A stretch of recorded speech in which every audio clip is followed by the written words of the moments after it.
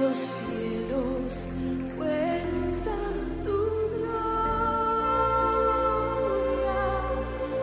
La creación proclama tu poder y yo fruto soy. Qué hermoso,